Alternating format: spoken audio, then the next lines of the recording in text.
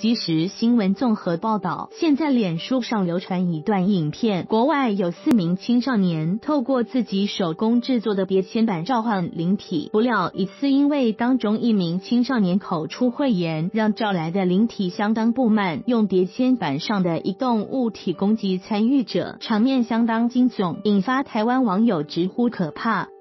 网友金十八日将一段二零一七年九月七日的影片从影音平台 Live Vic 转载到脸书社团爆笑公社。根据《每日邮报》报道，美国三女一男共四名十几岁的青少年齐聚一堂，想用自制的碟仙版召唤灵体现身，但事件的发展却超乎他们想象。从影片中可以清楚看见，青少年先解释我们不是要拍狗屎电视剧，我觉得那些狗屎都是假的，我们只是要问几个简单的问题，不牵手环绕，看会有什么他 X 的事情发生。只见少男与少女们所处的空间，唯一的光源就是桌上的烛火。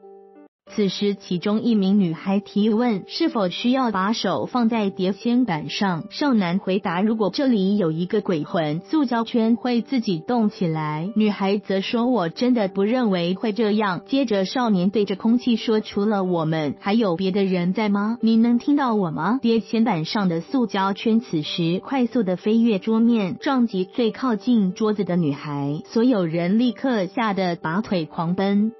许多网友看完影片都感到相当不